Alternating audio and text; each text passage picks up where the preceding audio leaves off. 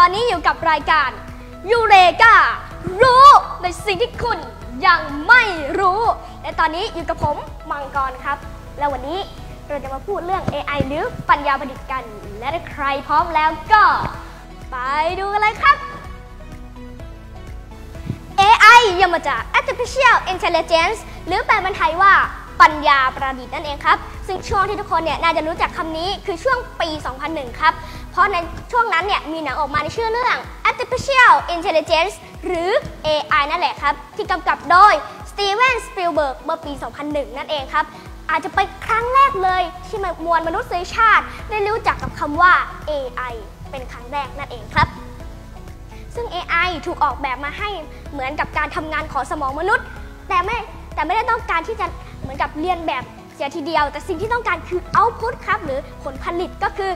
ตัว AI เนี่ยสามารถที่จะตอบโต้กับผู้ใช้ได้โดยตรงนั่นเองครับ เช่น ผมเปิดเว็บ Facebook ขึ้นมาครับ เป็น facebook.com ตอนแรกมันไม่รู้หรอกผมเลื่อนอะไรไปอะ แต่พอมันดูความสนใจกิจกรรมและความสนใจของผม มันจะรู้ว่าผมต้องการอะไร มันก็จะเก็บเก็บเก็บเก็บเก็บเก็บไว้ก่อน แล้วจากนั้นเนี่ยมันก็จะเอาสิ่งที่ใกล้เคียงนั้นมาแสดงไว้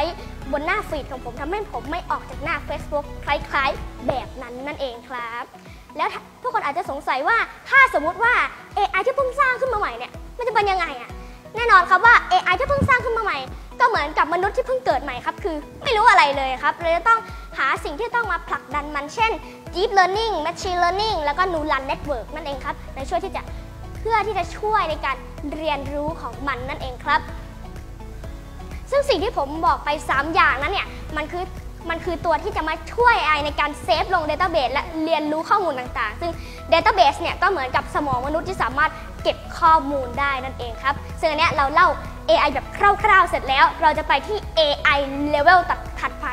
นั่นคือ A ANI Artificial Narrow Intelligence นะครับหรือ ANI นั่นนะครับ ซึ่ง ANI นะครับเมื่อแปลเป็นภาษาไทยเนี่ยคือมันจะออกเสียงประมาณมันคือปัญญาประดิษฐ์อ่อนแอหรือปัญญาประดิษฐ์เชิงแคบนั่นเองครับ ซึ่งที่เขาบอกว่าเชิงแคบเนี่ยเพราะในเวลาหนึ่งเนี่ยมันจะสามารถทำงานได้แค่ 1 ด้านเท่านั้นนะครับ และมันสามารถเรียนรู้ได้แค่ด้านเดียวคือด้านที่เราสอน มันไม่สามารถทำอะไรได้มากกว่านี้นั่นเองครับ ตอนนี้เนี่ยเราได้พูด AI อันที่แล้วเสร็จแล้ว เราจะมาที่ AI รุ่นที่สองกันเลย นั่นคือ AGI